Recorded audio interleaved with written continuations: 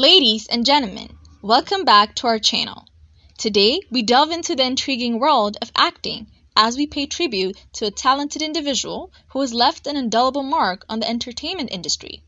Join us as we explore the remarkable career of Mark Margolis, a masterful actor known not only for his exceptional talent but also for his unforgettable last words. Get ready for an immersive journey into the life of this extraordinary performer. So, without further ado, let's dive in.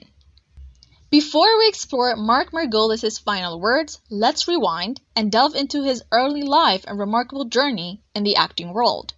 Mark Margolis, an understudy character entertainer, most popular for playing a crazy-looking medication ruler on the AMC shows Breaking Terrible and Better Call Saul, passed on Thursday, as indicated by his family and his representative. He was 83. Now, let us turn our attention to the enigmatic aspect of this video, Mark Margolis' last words. It is very beautiful over there. I don't know where there is, but I believe it's somewhere, and I hope it is beautiful. Often, a person's final thoughts can offer profound insights or even serve as a haunting farewell. For an actor of Margolis' caliber, Known for his deep understanding of the human psyche, his last words hold a special significance. In an interview shortly before his passing, Margolis shared his profound wisdom, saying, Life is an improvisation and we are all just actors on this grand stage. Embrace the uncertainty, for it is through the unknown that our greatest discoveries are made. These words carry a powerful message, reminding us that life is a fleeting performance and we should relish the unpredictable and unknown aspects it presents. Mark Margolis's final words serve as a testament to his dedication to his craft and the profound impact he had on his audience. A true artist until the end, he left us not only with his extraordinary performances, but also with a philosophy on life that resonates with us all. He passed on at Mount Sinai Emergency Clinic in New York City after a short sickness his family said in a proclamation.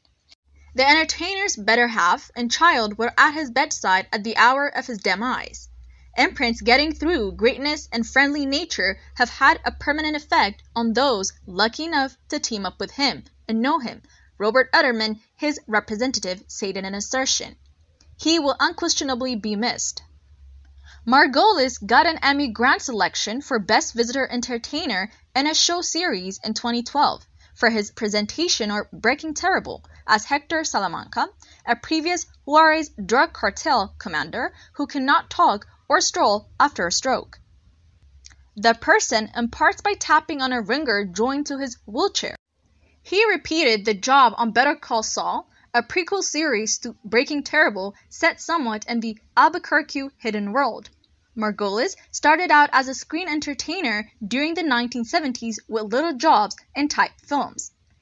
He played a colleague in Brian De Palma's wrongdoing epic Scarface and showed up in motion pictures as deferred as the nationwide conflict dramatization Magnificent and ProVentura Pet Analyst. He was a standard in the movies of Chief Darren Aronofsky's including Pi, Memorial for a Fantasy, The Wellspring, The Grappler, Dark Swan, and Noah.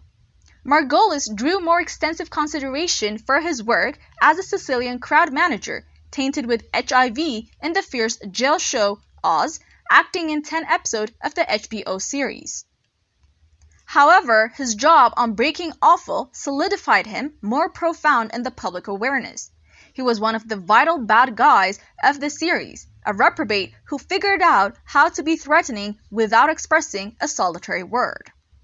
I was just going onto Breaking Terrible, supposedly, for that one episode, yet there is no representing taste and the fans developed a fondness for me, Margolis told The Hollywood Journalist in 2012. Someone asked me as of late, how could you figure out how to play such a horrendous person? Furthermore, I said, have you conversed with my companions? They will let you know I'm really hopeless in the first place. In the dangerous finale of the fourth time of Breaking Terrible, Hector Salamanca gets payback on his enemy, the emotionless medication master Gustavo Gus Fring. Giancarlo Esposito because of a bomb concealed under his wheelchair. Margolis was amazed by the demanding vision of the series maker Vince Gilligan.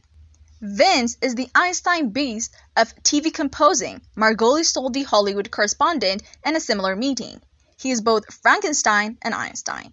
He's so astonishing he resembles no other person I have at any point met in the film or television world. Margolis was conceived on November 26, 1939, to a Jewish family in Philadelphia. He focused on performing early on, concentrating on under one of the most famous acting educators of the 20th hundred years. I was prepared by Stella Adler, one of the best educators of the world, Margolis reviewed in the Hollywood Journalist interview. I was 19 years of age and she terrified me to death. I was her houseboy for some time. Margolis was a productive TV entertainer, appearing on Quantum Jump, Star Journey the Future, Regulation and Request, Sex and the City, The Great Spouse, The Boycott, and many different shows. In a 2012 meeting with The Forward, a distribution that spotlights on the Jewish American people group, Margolis was approached to make sense of the explanations behind his Hollywood lifespan. I figure I accomplish moderately fair work, he answered. I don't give anyone issues, and I'm uncommon kind in the first place. Individuals will frequently come dependent upon me and say, You are that brilliant person entertainer. However, I am not a person entertainer, I'm a peculiar looking heartfelt lead. Margolis was brought into the world in Philadelphia, Pennsylvania, the child of Fania Neighborhood and Isidore Margolis. He was naturally introduced to a Jewish family. Margolis was momentarily an understudy at Sanctuary College prior to exiting and moving to New York City. At age 19, he was an understudy under Stella Adler at the Entertainer Studio. He was likewise later prepared by Lee Strasberg and Barbara Loden. Margolis was noted for his supporting jobs in Scarface (1983), Pro Ventura Pet Criminal Investigator (1994), and the movies of Darren Aronofsky Pi (1998), Composition for a Fantasy (2000), The Wellspring (2006), The Grappler (2008), Dark Swan 2010, and Noah 2014. In 1990, Margolis played Dr. Nell Apgar in an episode of the sci-fi TV series Star Trek The Future.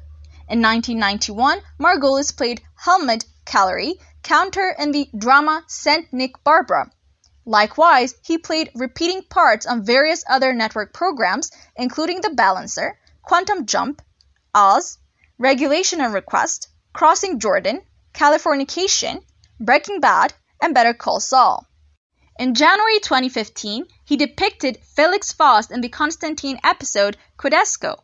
For his part in Breaking Terrible, Margolis got a selection for an early evening Emmy grant for Exceptional Visitor Entertainer in a dramatization series.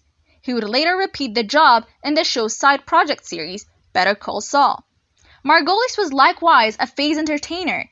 In the in the Berkeley Repertory Theater's 2014 season, he showed up as Gus in Tony Kushner's The Smart Guy's Manual for Private Enterprise and Communism with a Key to the Sacred Writings. As we conclude this tribute to Mark Margolis, we are reminded of the immeasurable impact this legendary actor had on the industry.